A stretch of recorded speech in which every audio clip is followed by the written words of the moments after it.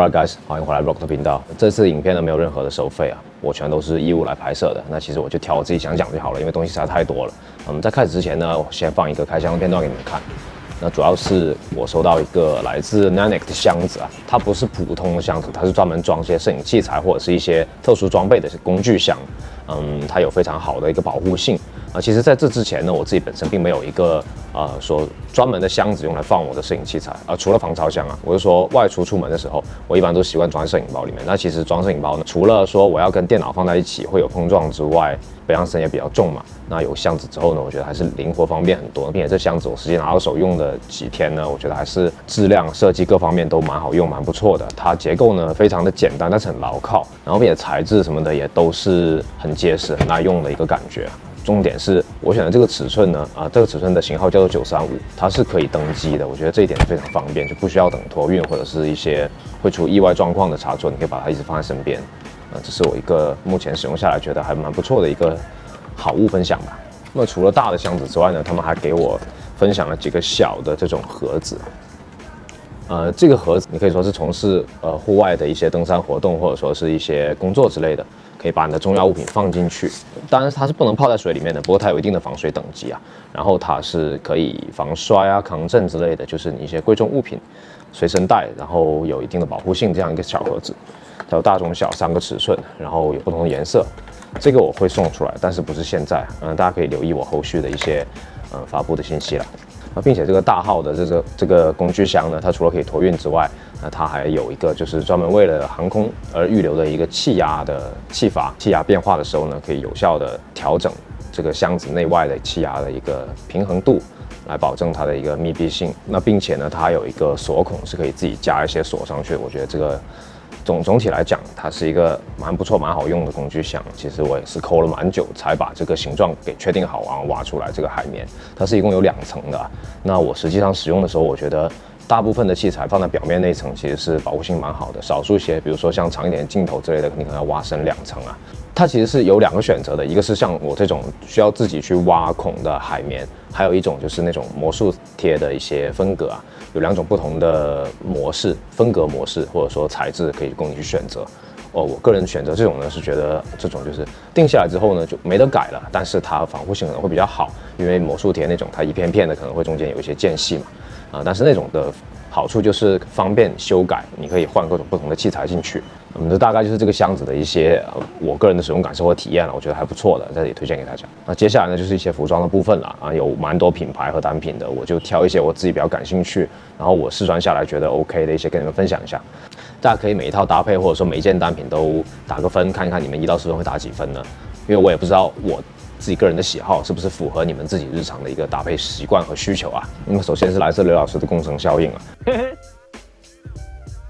啊，工程效应前一阵子呢也已经发售了他们这一季的一个主题了啊，感兴趣的话大家可以翻一翻之前的一些其他 UP 主他们介绍的关于这一次发售的一个背景故事，我就不再赘述了，我只挑我自己拿到手的单品来跟你们分享了，就是这一件可以说它是呃多穿法多合一的一个机车夹克的设计。我觉得它是蛮新颖的啊，虽然说看起来好像挺普通的一个机车夹克款式，嗯，但是它加了很多，我觉得是有感受到刘老师他一个做服装的想法和 idea 进去。那首先呢，面料还是全防水的，并且他们在袖口的位置呢有做一个 denim 这个面料的一个补强，我个人觉得是很帅很好看的，嗯，比普通的机车夹克来讲呢多了一个点睛之笔啊。另外就是两侧都有一个拉链是可以展开的，这样子可以使你这整个夹克呢更有一个 A 字形的上身效果。这种感觉，就当然我知道机车夹克正常来讲的话，它是一个非常修身的款式的一个，嗯，可以说是代表吧。但这一件，我觉得它你不能把它跟传统的机车夹克去比嘛，因为面料啊或者 cutting 什么的，嗯，整个的感觉它是比较偏一个时尚或者说是都市感。没有那么的传统皮夹克的感觉，我我个人觉得它还是比较考验搭配功力的，因为我个人拿到手呢，其实我自己本身是没有任何一样的皮夹克的，因为大家知道了，在广东皮衣很难保存的，而且真的穿不上，很厚很热。呃，不过我个人是很喜欢皮夹克的，尤其是 A 二的款式，机车夹克也很帅，可是我个人觉得还蛮难搭的，因为它很挑身材，一定是够 fit、够好看的身材穿它才能衬得出这种夹克的款型。这是我个人一直以来对于机车夹克这一类产品的一个可以说是固有思维吧。但其实这件衣服，我觉得它对大部分身材都还蛮友好的，因为它不是那种特别修身的剪裁。大家可以看一下上身的画面，呃，而且我把它两侧拉链拉开之后呢，你可以说它就是一个非常休闲的一种，但是又带一点时尚感，呃，带一点亮点，比较 fancy 的款式。我觉得得益于它一个纯黑加上银色拉链这一个配色的搭配感。嗯，会显得它更加有一种时装的感觉，因为它还有其他的几个颜色，纯黑的，然后还有一个全白色的。我听说这个黑衣服配银色拉链的这个配色呢是限量的。我个人觉得他们很好的是共同效应这一季呢，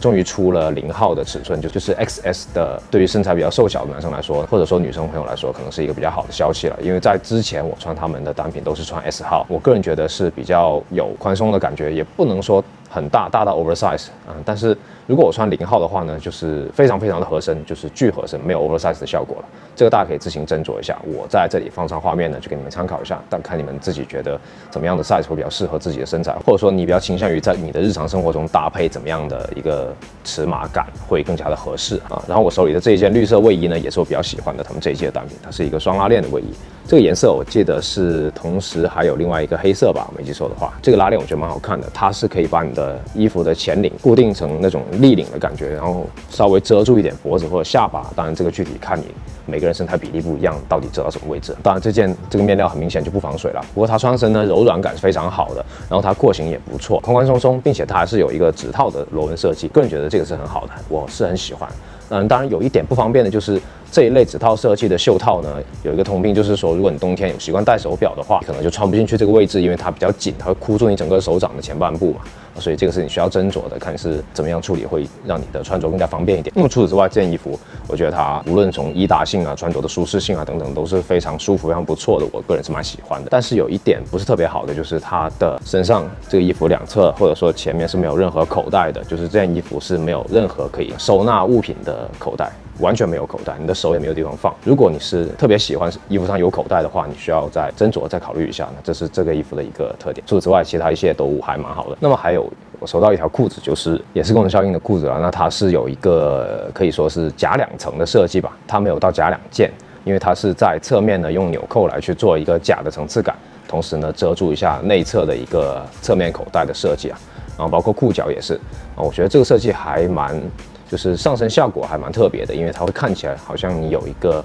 比较不一样的剪裁感，一个廓形，因为它好像外面加多了一层布料，但是它又不会让你觉得这个裤子的剪裁变成那个样子，而只是说它是有多几个不同的棱角在你的整个廓形上刺出来的感觉。不是很明显，还比较低调。我觉得它这个分寸拿捏的还蛮好的，就看起来不会说太跳跃或者说太夸张啊。同时它有一定的实用性，那并且这裤子面料也是防水的。我个人觉得呢，这个在日常生活的使用中呢，会带来很多的便利性啊。但是有一点点我个人不是特别喜欢的，就是裤子上的扣子，它没有任何内衬在里面贴着你的皮肤，也就是说，呃，冰冷的扣子会直接贴你的皮肤。这个在冬天，嗯如果你只穿了一条裤子，它直接贴你的皮肤，那这个就有点不是很舒服啊。当然不是什么太大的问题啊，除了。这些身上的服装之外，还有一些配饰啊，就是袜子了。共同效应这次有出几款袜子，我个人觉得还蛮有意思的。它是这种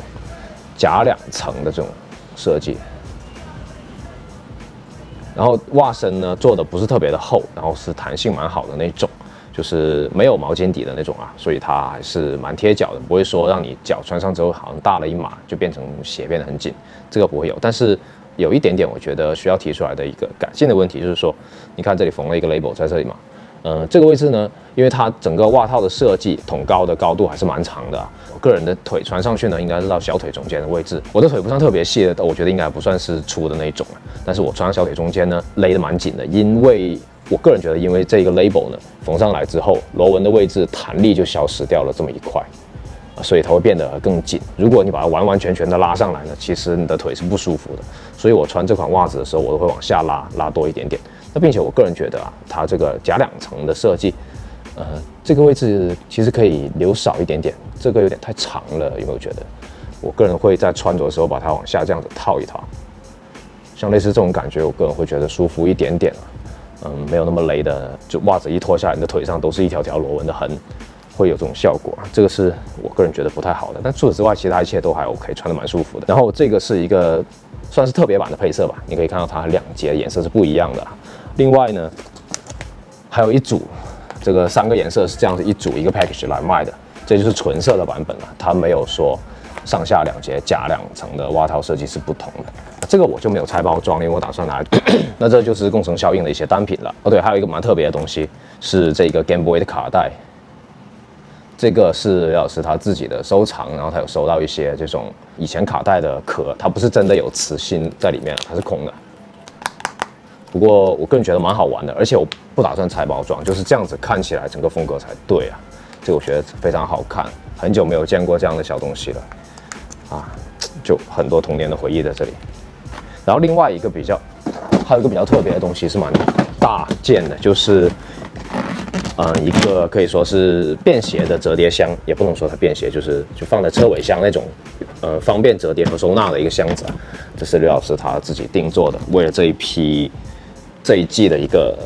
展示效果，我个人觉得这箱子是蛮帅的，然后质量也蛮好的，重。然后其实这些产品呢，我现在目前也不确定啊，他们还有没有在售卖，大家可以看一下。就如果有你合适的尺码或者是你喜欢的颜色呢，就不要错过了。因为据我所知，他们每一季的产量也不是特别的大，啊，更别说这种周边的 lifestyle 的一些小玩意啊，啊，量应该是不会很多的。大家看到的话就不要错过了。我们来看下一个牌子。Vans 的这件外套，我当时拿到手也很奇怪，为什么 Vans 会有这种长款外套出来啊？但实际上我拿到手之后发现，哎，它好像是一个算是 Vans 新尝试。因为大家可以看到，我这所有的衣服基本上我都还没有去拿掉吊牌，一个是时间比较紧啊，我没有空去处理；再一个就是，其实我是个人习惯，衣服拿到手我保留着吊牌，先保留一阵子，因为有时候吊牌上的很多信息可以告诉你这件衣服的来源，然后包括它一些想法，甚至一些，呃，可以说是面料啊。一些科技方面的一些知识点都在吊牌上，所以我会保留一段时间去确定自己熟悉了，然后记住了这些之后呢，我才把它去掉。那这件衣服让我很意外的是，它也是一个防水波的面料处理啊。当然它不是真的磨材料防水，它只是一个涂层，也不妨碍它是一个非常好穿、非常实用的单品。首先这个长度呢就非常好，它可以保证到你在南方这种秋冬天气偶尔会有雨雪状况出现呢，它会有一个防风防水坡这样的一个效果。嗯，并且长度也十分的合适，嗯，但是我个人在日常生活中是其实是比较少穿这种长度的衣服，因为最大的一个不方便的点，我觉得就是如果身上有水，嗯，我要上车这个就比较麻烦，因为一定会弄湿坐垫或者靠背。如果是短装的话呢，还比较好抖掉一些水分，长款的话可能只能把它脱下来了，嗯，这是我个人觉得不太方便。不过不妨碍长款的衣服是一个非常好的单品。那么这件衣服你可以看到它还是个鸳鸯袖的设计。我不知道为什么，好像目前我收到了蛮多的单品，都开始用这种鸳鸯袖，或者说整件衣服是鸳鸯色的设计，有好有不好吧。我觉得这个还是要具体看配色和剪裁了。啊，这件我觉得还行，它是这种比较保险的黑色跟军绿色的搭配。那并且我拿它搭刚介绍共成效应那款卫衣呢，呃，颜色竟然意外的搭，甚至我乍一看都还没分出来袖子之间的一个界限在哪。然后它有那个黄色拉链在中间，我个人觉得是一个比较亮眼的设计，不会说如果用黑色或军绿色就显得比较闷了。但是胸口的一个那种叫什么桃色的这种印花，我个人是比较抗拒的。但除此之外，其他一切我都还觉得还不错，蛮喜欢的。这个我不清楚，他们现在店铺有没有在售卖？感兴趣的话，你们可以自己去看一下。呃，那么说到这些周边呢，基本上就是 Gucci Made 的。那我之前也跟你们介绍过 Gucci Made 的这个牌子。经常有人问我说：“你的袜子是哪里的？”其实就是来自 Gucci Made 的。就他们每次发售数量都不多，他们的生产和设计制造这些呢是比较带实验性的感觉。他们会少量，然后换不同的想法和不同的配色等等，做一些小的改良，比如说 logo 的位置啊、横或者竖啊之类的这种调整。他们去慢慢的去做一些尝试。啊，每一次每一次的发售呢量都不会特别多，所以如果有哪一次是你特别喜欢的，就真的不要错过。如果你后面看到的话，基本上就已经是售罄的状态。这次的袜子呢有三个配色。然后是比较特别的 logo，是这样竖过来，就不像之前是横着的。当然也是分趾袜，然后并且它是有条纹的，不知道你在图片上看不看得出来？我给你拍一些特写的这里。那灰色这一双比较明显。我为什么没拆包装？这个你们应该懂的了。还有一个配件是一个包款，我很少入古品妹的包款，这是第一次啊。这包我个人觉得，呃，乍一看上去，它有一点点像。像两个米袋的感觉在前面，就是看起来皱巴巴的，好像不是很整齐。那其实我个人使用了几天呢，我觉得它真的很实用，是那种很低调、很实用的包款，特别大，然后也不会说没分隔，并且它内外呢前后都各有两个口袋，后面也有两个这样子，然后前面的口袋还是有这种弹力抽绳的设计，然后并且盖子呢也是一样，他们的一个传统的磁吸扣的设计，内部呢一个小的暗格和一个大的拉链暗格。然后这个背带呢也是可以快调的这种，我个人用了几天，我是蛮喜欢的。基本上就是去超市买东西什么的，直接往里面丢就好，完全不怕装不下。然后随身带一些物品啊，甚至相机我也丢进去。当然我会拿别的衣服包好了。这个袋子我还蛮喜欢的，就是这个袋子。那背上身的效果呢，你们可以看一下，不修边幅的感觉，但是就是这种不修边幅的效果，可以体会到有点。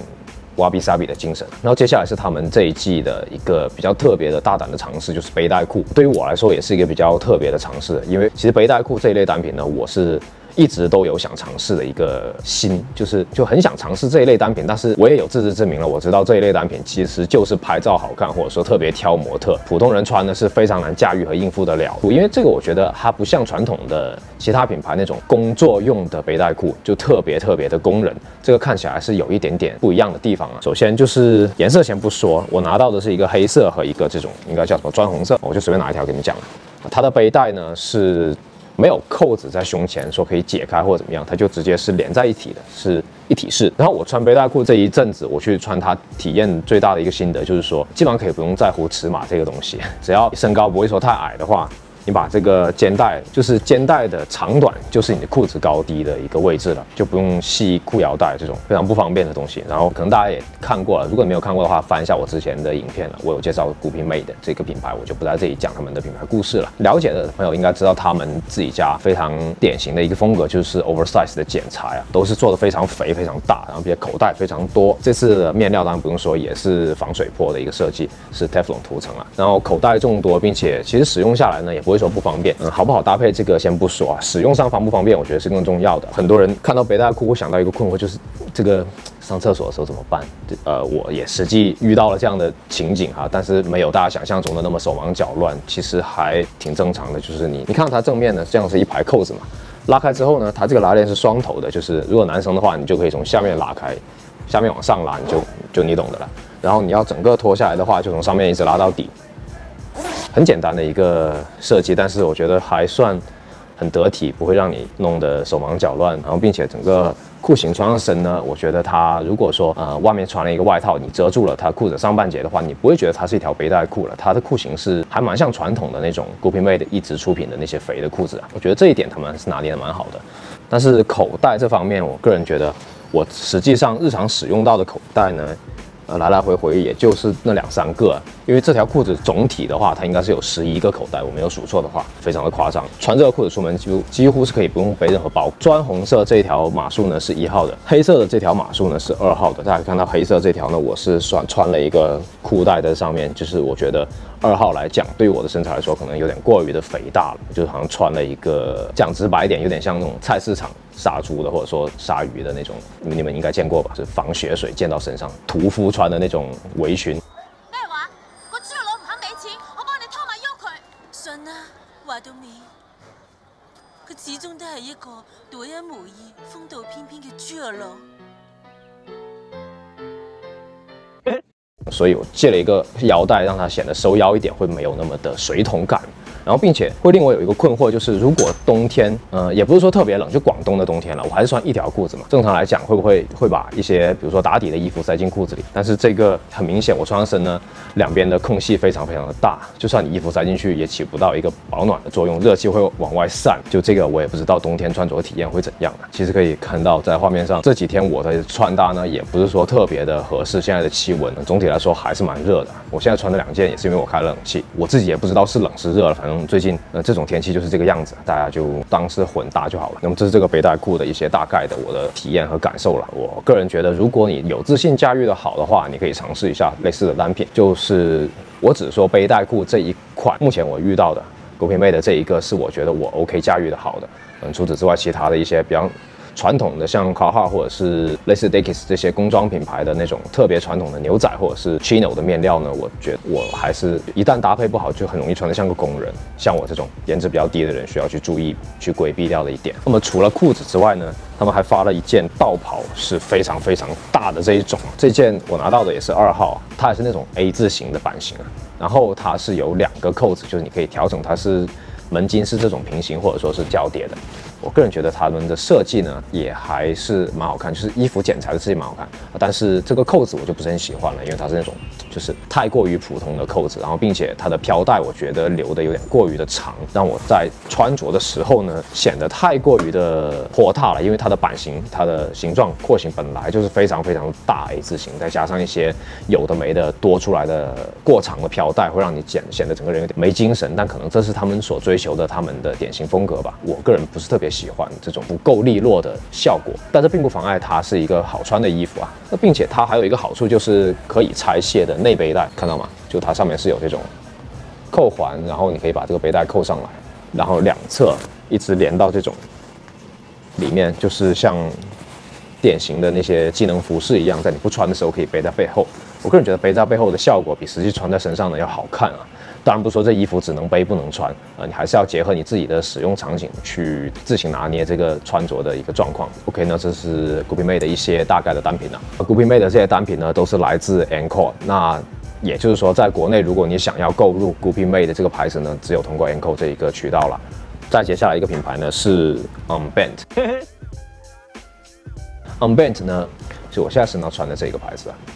啊，它也是来自广东的牌子。那并且我个人觉得，嗯，他们的风格或者说品牌的质感呢，比较像是一个高质量的休闲的这种日常服饰的感觉啊，没有说特别花里胡哨的夸张的设计，他们都是一些比较基础的款式，但是品质和工艺都拿捏得非常好，并且质感和价位的一个平衡点呢，我个人觉得做的也是不错的。我也只是就我拿到的几样单品跟你们分享啊。首先就是身上这件格子衫了。呃，颜色我先不说，萝卜青菜各有所爱了。我觉得这个格纹还是比较好日常出门的，不会显得过于的老土啊。然后它的整个版型也是非常的宽松，并且它还是有两侧一个大口袋设计，而且口袋还是带拉链，这个我觉得非常好，非常实用啊。我是喜欢有口袋的衣服的，但是胸前没有口袋，这个是出乎我意料，因为格子衬衫不是一般都会胸前有嘛。不过这个倒没有影响，还好它是两侧有加口袋给我。然后并且整个穿上身呢，不会像传统的格纹衬衫那么的服帖，它是比较也是有点 A 字形的这种廓形感的。那并且我个人在穿着这种衣服的感觉，我会觉得啊，不扣扣子或者说只扣上面的扣子，就是下面敞开来穿，这样这这种廓形的休闲味道会比较十足一点。那内搭这件长 T 呢，我个人觉得还不错哦。这件长 T 跟其他几款单品一样啊，他们都是做了一个成衣水洗的效果，嗯，并且效果个人觉得拿捏的还是蛮好的。然后材质什么的都是非常舒服的棉质，嗯，这件衣服呢是没有植绒的，但其他还有卫裤的那些款式都是有那种内里植绒啊，就是冬天你也可以穿，至少在广东的冬天呢穿一条是 OK 了，没有问题。就因为面料够厚呢，并且有水洗的质感的加持呢，其实你上身效果不会显得说十分的普通，还是看起来蛮有感觉，就是啊，感觉是有花到钱买到的一个视觉质感啊。先不说它真正的品质感怎么样，每个人标准也不同。我个人觉得它是对得起它价格了，并且它穿身真的还是蛮舒服的。我用他们的一些单品来做搭配呢，基本上穿的也是这种复古跑鞋的款式啊。嗯，我个人觉得是跟这种风格比较搭。呃，具体怎么拿捏这一个风格，或者说你们收到这样的单品会怎么样去穿呢？那是每个人都不同的了。我只是分享一下我个人的一些想法和感受啊。嗯，这件 crew neck 呢是没有植绒的，但是它整个颜色拿捏的也蛮好，比较特别，有点那种。孔雀蓝或者说碧绿的感觉，然后它们的廓形也是比较大，但是不会说大到 oversize 让你觉得驾驭不了，然后就变得只剩几个呃肩膀或者说骨架支撑的衣服的感觉，不会这样子。它们能比较好的去隐藏你身材的缺点，放大你的优点的感觉。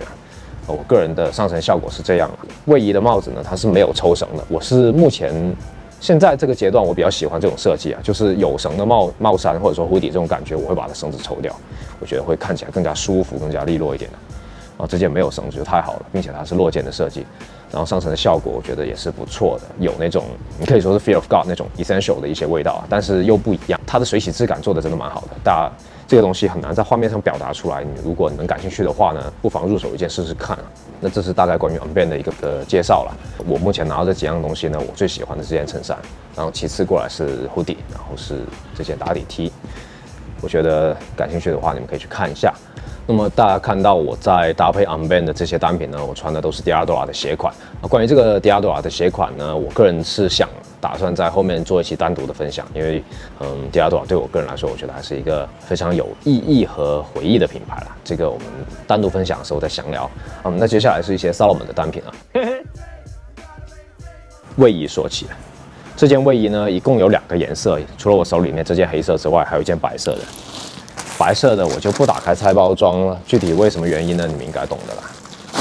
嗯，黑色这一件跟白色一样的，它们都是在这个 logo 印花的位置，包括这些袖子和肩膀的一些缝线，全都是三 M 反光的设计。黑色这件比较特别的是它的反光就是自带那种全息七彩的效果，白色那一件就纯色的没有七彩，但是版型啊什么剪裁都是一样的。那并且它的料子呢也非常舒服，是那种有植绒的这些卫衣料。然后整个上身效果呢，因为有肩膀反光线的这种加持，会使你显得这个袖子特别的饱满，不会说太柔软，然后整个到肩膀就往下垂。这个上身效果还是蛮好看的。虽然它没有一个明显肩线的 cutting，它有点插肩设计的感觉啊，但是它整体上身效果不会显得肩膀窄，因为大家都知道插肩设计的衣服会普遍让没有那么壮的男生显得更加瘦弱。这个我觉得还是蛮好的。那并且它。有一定的保暖性，也蛮舒服。然后价格我看现在好像还有折扣，呃，具体怎么样的话，感兴趣的话你们自己去看就好了。然后还有另外一个是外套，这外套也是我刚刚说到的那种鸳鸯配色的设计啊。嗯，不过这一件呢，它更加的就怎么说，户外感或者说功能性的感觉更加强。它的帽子是可以折叠到。衣领里面去的，大家可以看到这里有拉链，然后整体的面料也都是那种防风防水波的设计。然后一开始我以为它底下的这些点点是三 M 反光，而且后来其实发现不是，它就是一个胶印上去的点。但是衣服的后腰下摆的位置有一个反光 logo 贴在这里，那然后除此之外就是胸前的一个胶质 logo 了，典型的 Salomon 的彩条。那其实整体。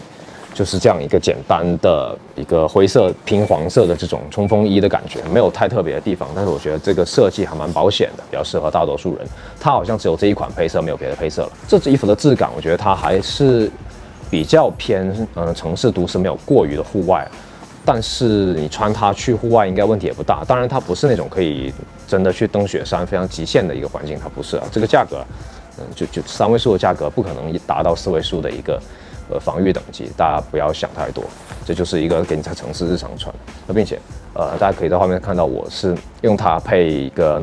NOSCA 什么的这一季的最新款的裤子。但是关于条裤子呢，我们放在后面再讲，这期先不介绍。然后我个人觉得，就是它很适合我。短途出差去一个去进行一些拍摄活动啊，因为它跟那个 Nanak 的那个箱子也还蛮配的，就至少颜色上、视觉上是蛮搭配的。那所以这就是今天想要跟你们分享的一些单品了。呃，东西比较多，所以我每个都介绍比较简短一点点啊。如果我有讲的不准确或不详细的地方呢，大家感兴趣的话可以自己下面补充一下。那这大概就今天的内容了啊，希望能够帮助到你们的选购和搭配。如果你还没有关注我，记得点一下订阅了。我是 Rock，我们下次再见。